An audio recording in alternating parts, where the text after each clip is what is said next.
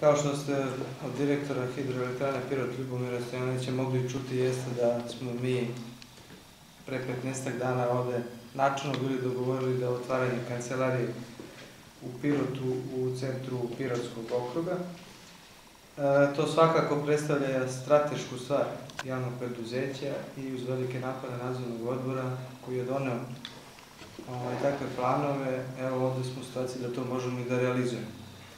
Javno preduzeće je preduzeće koje je formirano strane Republike Srbije vezano za razvoj turističkih destinacija u Republici Srbiji.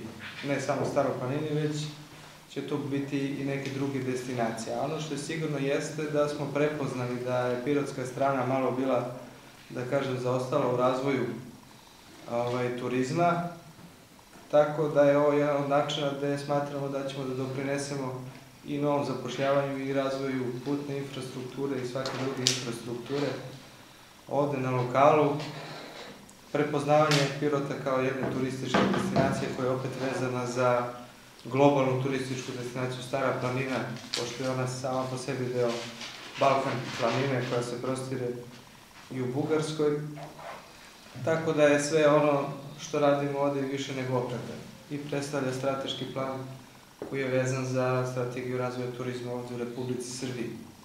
U ovom trenutku se radi strategija razvoja turizma do 2025. godine i tu je uneto da će da se radi veliki planovi na infrastrukturnom opremanju stare planine. Samo otvaranje kancelarije ovde će dopraniti daljem razvoju, opet imajući u vidu veliki potencijal Zavojskog jezera, dobrih i lepih lovišta ovde koji gazduju Srbija šume sa kojima je opet, kažem, imamo izuzetnu saradnju.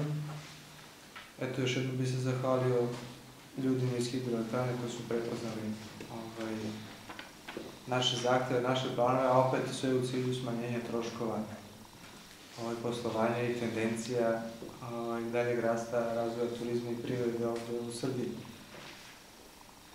Ono što se tiče infrastrukture smo dobar deo i rekli, ali ono što su nam i dalje planovi jeste investicijalno ulaganje u staru planinu. Blizina koridora je više nego jasna da ćemo izgradnjom puta doprineti da stara planina bude udaljena 50 km od autoputa, što je, pretpostavljam, jedinstveno ovde u Republici Srbiji. Doprinećemo razvoju i novom zapošljavanju,